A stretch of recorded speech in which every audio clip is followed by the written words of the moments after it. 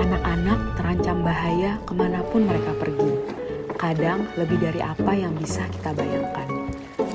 Dengan cara ini ataupun lainnya,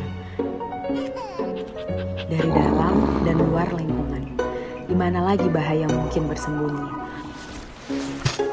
Anda pasti terkejut. Semua orang tua selalu waspada dalam menjaga anak-anak.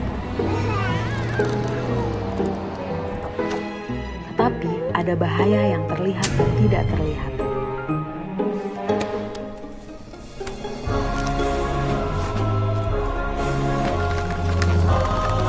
Tidak mungkin mencegah resiko bahaya yang dibawa oleh anak-anak itu sendiri.